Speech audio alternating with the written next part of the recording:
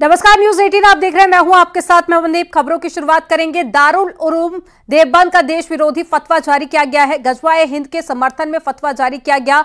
दारुल उलूम देवबंद ने वेबसाइट पर जारी किया है फतवा और गजवाए हिंद में मरने वालों को शहीद बताया।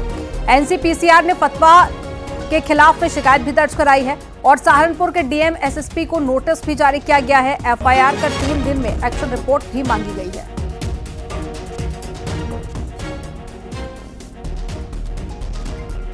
दारुल देवबंद की वेबसाइट पे एक फतवा जिसकी हमको शिकायत मिली वो ये था कि गजवा ए हिंद के बारे में मतलब भारत पर हमला करने के बारे में उन्होंने बताया है जब उनसे पूछा गया तो उनका कहना ये है फतवे में कि हज़रत अबू हुरेरा ने ये कहा और इसको पब्लिश किया है मुख्तार एंड कंपनी नामक के एक पब्लिशिंग हाउस ने देवबंद में जिसके बारे में दारुल उलूम देवबंद अपनी वेबसाइट पर लिखते हैं कि गजवा ए हिंद करते हुए यानी भारत पर हमला करते हुए अगर कोई शहीद होता है कोई मारा जाता है तो वो उसका सर्वोच्च महान बलिदान माना जाएगा।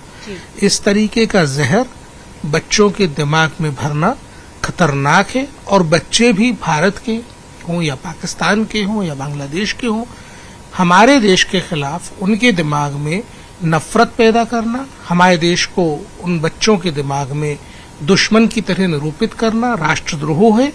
हमने एसपी और डीएम सहारनपुर को नोटिस किया है। हमने कहा है कि इसमें एफआईआर दर्ज करिए, कार्रवाई करिए और हमको अवगत कराइए। दूसरी तरफ़ जिला प्रशासन ने दारुल उलूम देवबंद प्रबंधन पर इस पूरे मामले में कार्रवाई की तैयारी कर ली है और डीएम सहारनपुर ने कहा है कि टीम ने जाँच शुरू कर दी है और आज शाम तक प्रभावी कार्रवाई की जाएगी। आर ने आदेश दिए हैं कि अगेंस्ट है। बच्चों के राइट्स के अनुसार अधिकारों के हनन है और तमाम कानून की परिधियों के प्रतिकूल है।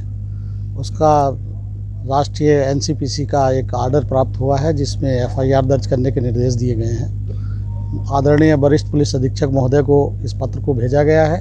साथ ही जिसके क्रम में सीओ और एसडीएम देवंद उसकी तस्दीक करके और उस पर कार्रवाई करने कर रहे हैं और आज शाम तक इस पर प्रभावी कार्रवाई नियमानुसार हो जाएगी। ये कार्रवाई किस किस के विरुद्ध रिपोर्ट दर्ज कराएगी नहीं अभी इसमें निर्देशित किया गया है। जो भी लोग इसमें इसकी परिधि में आएँगे उत्तरदायी होंगे उनके खिलाफ कार्रवाई की जाएगी। मदरसा दारुल उलूम देवबंद की ओर से गजवाए हिंद को वैधता देने वाले फतवे को लेकर मौलाना साजिद रशीदी ने कहा है कि इसमें सिर्फ़ ये कहा गया है कि अगर ऐसा हुआ कि हिंदू मुसलमान की कोई लड़ाई हुई इसमें जो मारा जाएगा वो शहीद कहलाएगा। कहा गया है कि अगर ऐसा हुआ और हिंदू मुसलमान की कोई इस तरह से लड़ाई हुई तो उसमें जो मारा जाएगा वो शहीद कहलाएगा। उसमें क्या है? एक आदमी को रोड पे चलते हुए गाय के नाम पर मारा जाता है, वो भी तो शहीद ही है ना? सवाल ये है कि अगर हिंदू और हिंदू धर्मगुरु चीख चीख कर मंचों से कहें कि हमें मुसलमान को यहाँ से निकालना है, मुसलमान को भगाना है, उनको खत्म करना है, उनको मारना है, काटना है, छुरी तेज रखो, तलवार तेज रखो और तलवारें बांटी जा रही हैं, बंदूकें बांटी जा रही हैं और बाकायदा आरएसएस की तरफ़ से ट्रेनिंग दी जा रही है, अगर ऐसा हो रहा है तो कुछ नहीं है। लेकिन अगर मुसलमान संविधानिक रूप से ये चाह कि ये मेरा देश इस्लामिक स्टेट हो, जिसमें चोरी करने पर हाथ काटा जाए, जिसमें अगर कोई बहन बेटी के साथ रेप करते तो उसको संसार किया जाए, चौराहे पर सबके सामने पत्थर मारकर उसको मार दिया जाए तो वो आतंकवादी हो जाता है।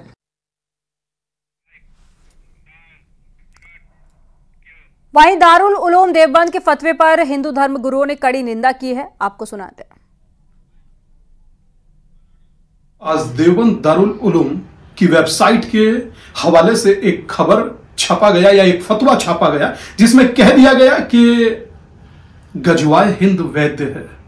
मैं समझता हूँ कि इस तरह का बयान वो भी तब, जब देश एक ऐसे दौर से गुजर रहा हो जहाँ शांति की ज़रूरत है, अखंडता की ज़रूरत है, एकता की ज़रूरत है। वहाँ ऐसे समय पे गजवाए हिंद जैसा बयान देना कि क्या कुछ अप्रत्यक्ष संदेश है? और मुझे ताजुब उस बात को लेकर के है कि छोटी छोटी बात पर आसमान सर पर उठा देने वाला मदरसा दारुल उलूम देवबंद द्वारा गजवाए हिंद की वैधता का फतवा जो जारी किया गया है, मैं इसकी घोर निंदा करता हूँ। ये फतवा एक देशद्रोह का फतवा है। इससे हिंदुस्तान के अंदर हिंदू मुसलमान के अंदर मतभेद पैदा होगा। इस प्रकार के फतवों से बचना चाहिए। और सरकार को इसके ऊपर फतवा देने वाले मौलवियों के ऊपर एक्शन लेना चाहिए।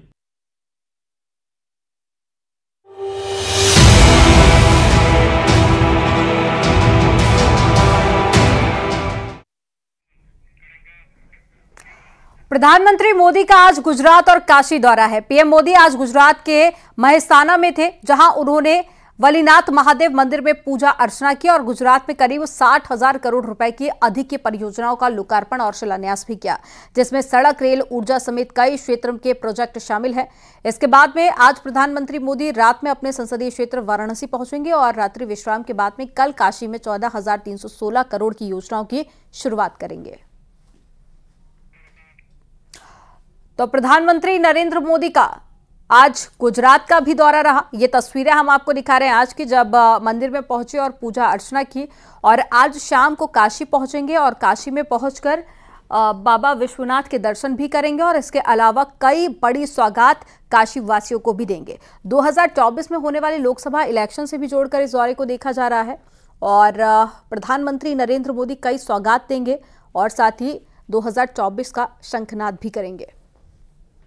तो ये तस्वीरें आप देखिए, जहाँ पर भगवान शिव पर जलाभिषेक करते हुए प्रधानमंत्री नरेंद्र मोदी मंदिर के अंदर की तस्वीरें हम आपको दिखा रहे हैं। पहली तस्वीर, जहाँ पर शिवलिंग पर दुग्ध अभिषेक करते हुए ये प्रधानमंत्री की तस्वीर है और दूसरी तस्वीर आपको दिखा रहे हैं जब पीएम मोदी पहुँचे तो काफिले का लोगों ने फूल बरसा कर स्वागत किया।